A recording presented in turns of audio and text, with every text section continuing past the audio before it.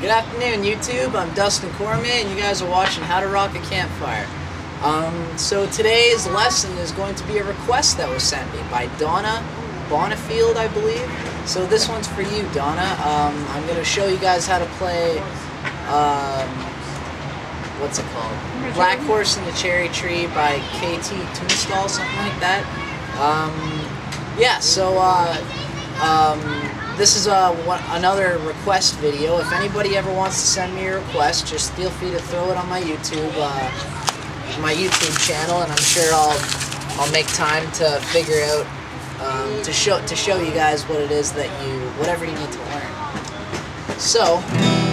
Uh, Donna said that she's having trouble with the strum, um, so I'm going to show you guys how to, how to do the strum for this song, and then I'll try my best to play it through. It's a tough vocal song, but we'll do it anyway. so, uh, the main thing about this uh, song is, is the strum. It's very syncopated. Syncopated means that it's not going on a straight beat. Um, something that's not syncopated, that's straight, will sound, you know, something like this. Two, three, four. One, two, three, four. But this song is actually syncopated, so when you hear somebody playing it, it's like this.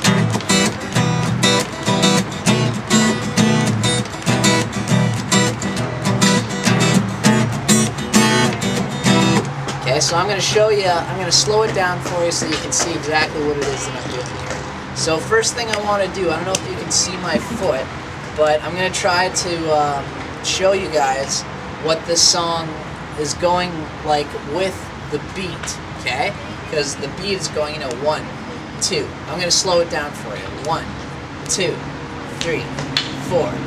One, two, three, four. One, two, three, four. One, two, three, four. One, two, three, two, three, four.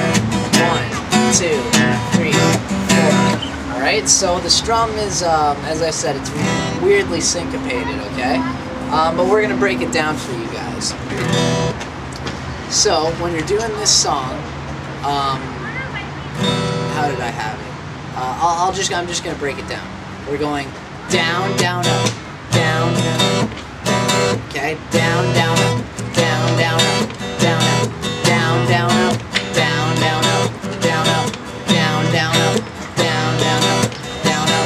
So that's the main part of the beat. Um, when I'm doing that, I'm usually, uh, usually what I'll try to do is on the second down, okay, down, okay, down, down, down, right? On that second time I hit the down strum, I'm trying to put the fat part of my palm on on uh, my guitar so that you can um, so that it, it makes it a very percussive sound. It's almost like I'm playing the drums with my guitar, okay? So that's what gives it that down chuck, down chuck, all right?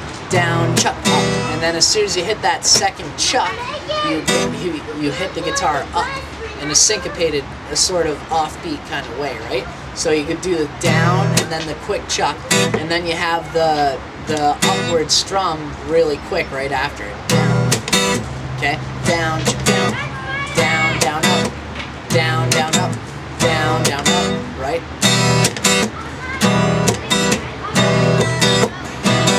Okay, and then you basically, so you do that and then you repeat it again. Down, chuck, up, down, chuck, up. Okay, uh, as soon as you hit that first upward strum, you're also going to want to do a sort of hand press on the strings. Try to make it so that you can actually almost hear yourself in, muting the strings with your palm. Down, up, down, chuck, up, chuck, down, chuck, up, chuck, right? Down, okay? Down, up, chuck, down, chuck, up, chuck, down, up. Okay, so you do the down, chuck, up, chuck twice, and then the down, up. Okay, now it all sounds weird right now, but when I blend it all together, you can see what I'm getting at. Now I'm going to do it very slowly so that you guys can see what I'm talking about. Down, up, chuck, down, chuck, up, chuck, down, up, chuck, down, chuck, up, chuck, down,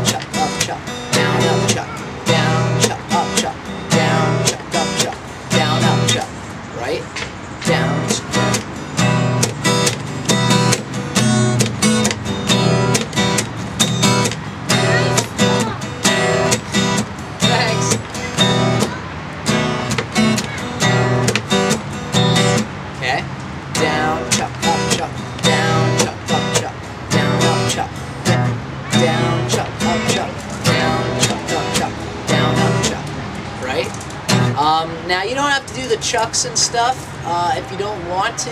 You can get by on this song just by going like this: down, down, up, down, down, up, down, up, down, down, up, down, down, up, down, up, down, down, up, down, down, up, down, up, down, down, up, down, down, up, down, up. Right? And so you'll get by with it doing that, and you'll still have the main sound of the song, right? Because that's what we're trying to do uh, with this song.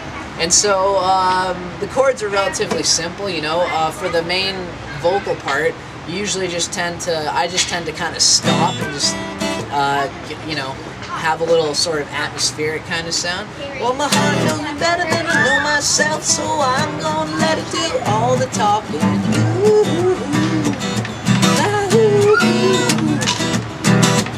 Right? And then after the the two lines of vocals, you come back into the E minor to the B7 and then back to the E minor, right?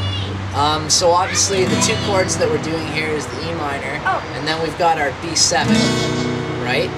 Um, put your second finger on the second fret, first finger, uh, sorry, second finger on the second fret of the second string, first finger on the first fret of the third string, third finger on the second fret of the G string, the fourth string going down, and then your pinky is on the, the highest string on the second fret, the E string.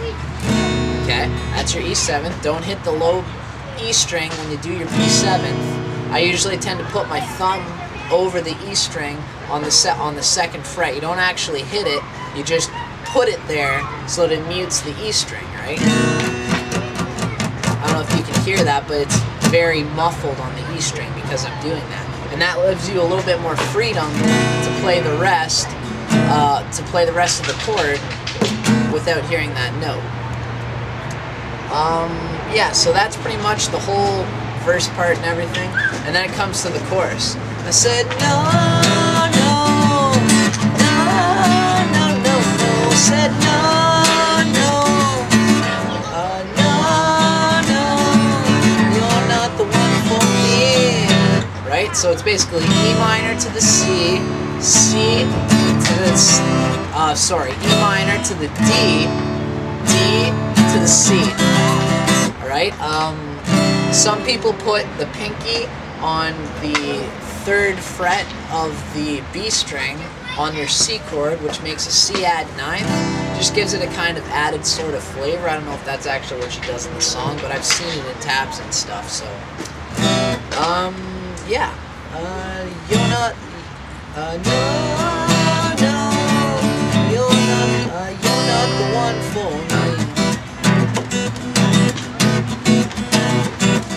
Sorry, so yeah, that's the chorus is E minor to the D, D to the C.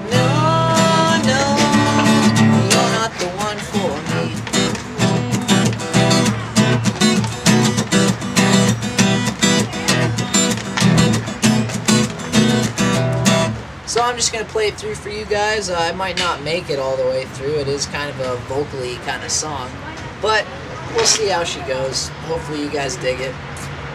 This is Black Horse and the Cherry Tree by K.T. Tunstall. I don't know if she wrote it, but uh, it's the that's the version I kind of figured that Donna was looking for. So this one's for you, Donna. Hope you dig it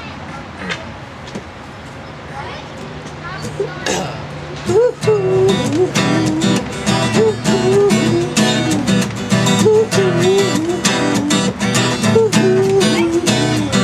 Well, my heart knows me better than I know myself, so I'm gonna let it do all the talking.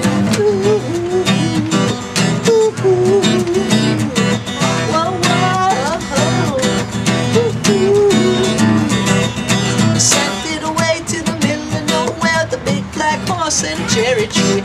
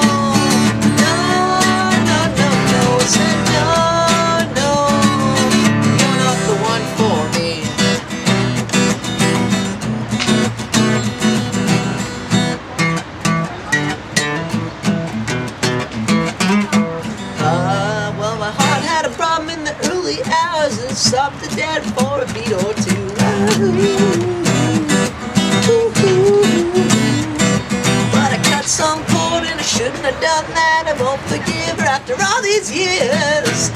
Oh. So I sent it there to the middle of nowhere with a big black horse and a cherry tree.